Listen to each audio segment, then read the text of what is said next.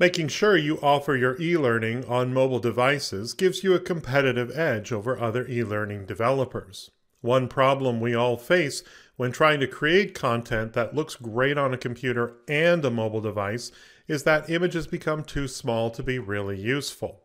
In this example project, I'll show you how I took a 3D map of the HR office and turned it into a series of click-to-reveals. In this case, I was using this interaction for new employee orientation, but you can use the same approach to display detailed diagrams or photos on even the smallest screen. This project starts with the whole image. Learners can click on areas to enlarge that section. Then learners can click on those smaller sections and reveal details about which department sits in that location and what do they do. The best part is that it works from a desktop view right down to the smallest of smartphones.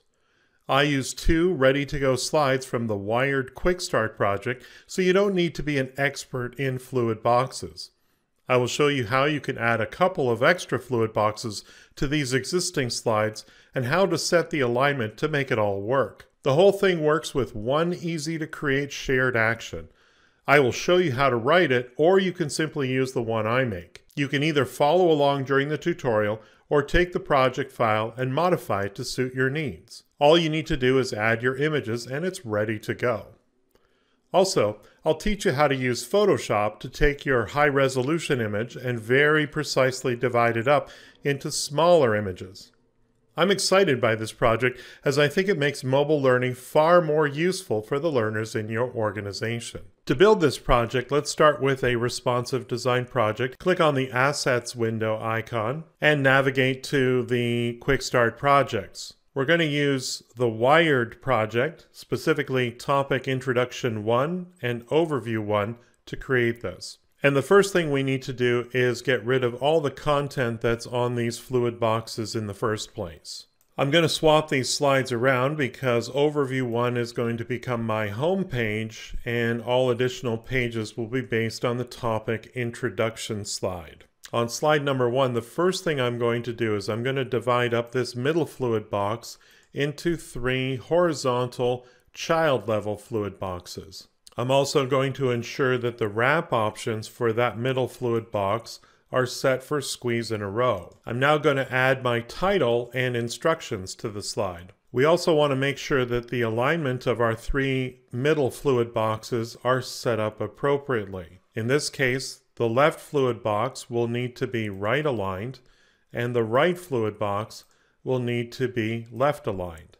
I've taken the original map of the HR office and divided it into three separate images.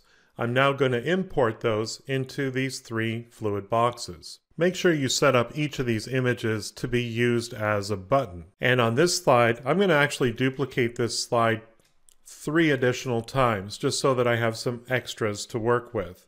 Returning to slide one, let's set the navigation for the first image to jump to slide number two. The middle image will jump to slide number three, and the last image will jump to slide number four. That pretty much takes care of slide number one. Let's go to slide number two. I'm going to move the extra copy of slide number two to just below slide number two because I'll be using that for part of the left-hand portion of this interaction. But let's go to slide number two and set up this slide. First thing we're going to need to do is divide this upper fluid box into a series of child fluid boxes. We're going to need a total of four fluid boxes to represent the different corners of that particular image. And like before, we need to make sure that alignment is appropriate. So in this case here, I'm going to select the upper left fluid box and make sure that it is right aligned and bottom aligned. Lower left will be right aligned and top aligned. The upper right will be left aligned and bottom aligned. And the bottom right will be left aligned and top aligned. Essentially, everything's going to center around this middle point right here. Next, we're going to divide up the bottom area, which is going to act as our navigation area. Divide this into three different fluid boxes. We want to make sure that the wrap options for this is squeeze in a row And similarly, we're also going to want squeeze in a row for our fluid boxes above as well. So now we're ready to add some images. The upper left-hand corner, I'll add the upper left-hand corner of the left-hand side of our office image. We'll do the same thing for the upper right, our bottom left, and our bottom right. Let's select our images and make sure Use as button is selected. In the bottom middle fluid box, I'm going to add instructions. We're going to use some icons from the Captivate Assets window to create a home icon and a previous slide icon. And we're also going to check those to make sure that they're used as buttons as well. I'm going to resize the left and right fluid boxes at the bottom so the icons aren't so large. Clicking on the fluid box and going to the position panel makes this really easy. I'm going to select the home icon, click on the Actions tab, and in this case, jump to slide number one since that's going to be our home. And we're also going to select the hand cursor and disable the click sound. The back button in this case also will be jumping to slide number one and we'll also put the hand cursor on and disable the click sound. Let's move on to slide number three and set this up. In this case, the top portion, fluid box, doesn't need to be divided up into four sections. We're simply going to display one of those four corners. I'm going to bring in the first of those images now. Next, we'll set up the bottom fluid boxes to be similar to how they are on slide number two. We're going to have to set those actions again. So in this case, the on success action for the home icon will be jump to slide one because that's our home page. But the previous slide icon will not bring us to slide one. In this case here, we'll jump to slide number two. I've added a description in the bottom middle fluid box that will correspond with the image above. We're going to produce the different corners of the smaller image by creating multi-state objects. So let's start by creating a multi-state object for our image above. We'll click on State View. Now the normal state will function as our upper left image, but let's add the appropriate states for upper right, lower right, and lower left. So now that I have all of my multi-states within this object, I can change the images to correspond to each of the corners of the larger image. So in this case, the upper right will need to be replaced with another image. So I'm going to right click on the image itself and choose Replace Image. From there, I'm going to select Import and select the appropriate image. We'll do the same for the lower right and the lower left. We can now exit the multi-state view and we're going to do something similar to the description because each corner of this section of the office will have a different description associated with this. So we're going to go into state view and I'm going to create the additional states. Normal will function as the upper left hand corner of that section, but we'll also make upper right lower right, and lower left. Okay, so now I have a unique description for each of the four corners of this section of the office.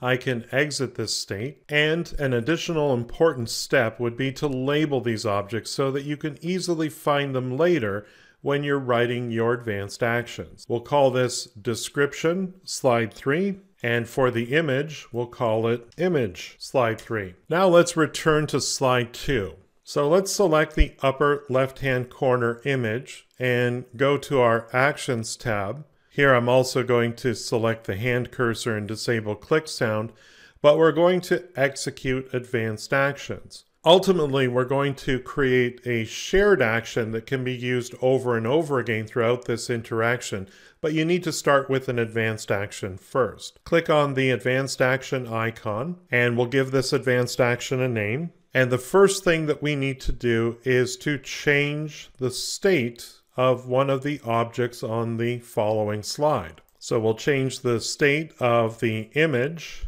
to, in this case, normal, because that's the upper left. And we'll change the state of description also to normal. And then we'll jump to slide number three. Now I'm going to save this as an action so that I can refer back to it if I need to but I'm first going to save it as a shared action, again so I can use it over and over again. When you save as a shared action, you just need to give a description to each of the parameters in your advanced action. So in this case here, we'll simply call this image, state of the image, description, state of the description, and the slide that we're going to navigate to. Click Save and click OK, and now we can close the advanced action window. Let's change our on success action for this image used as a button to execute shared action. Now it's going to select our select office section shared action and we just need to populate it with the appropriate parameters. Let's click on the action parameters icon. So first of all, we need to let it know what image we're working with. So in this case, image 3. We'll also let it know what description we're working with, and of course the states for both of those, in this case normal. We also need to let it know what slide to navigate to, and again that's slide number 3. And we're going to repeat this process for each of the four corners and make sure that they're all set up to run the same shared action but with slightly different results.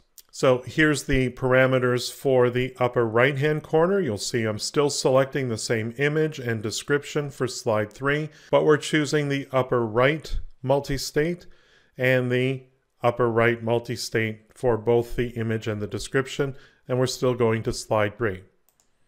Okay, so I finished applying my shared action to all four of these images, and I think we're pretty much good to go we need to just simply repeat the steps to create slide 2 and slide 3 for the middle section of the office and the right hand side section of the office, but we should be able to test this out and see how it works for the left hand portion. Let's take a look.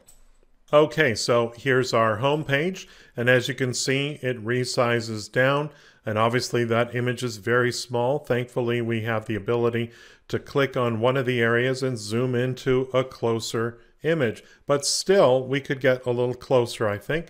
So we'll click on, let's say, the bottom left-hand corner image, and you can see we get a nice close-up of that section of our illustration or our image, and we also have a description. This is where the HR finance team is located, including their director, Anton Abercrombie.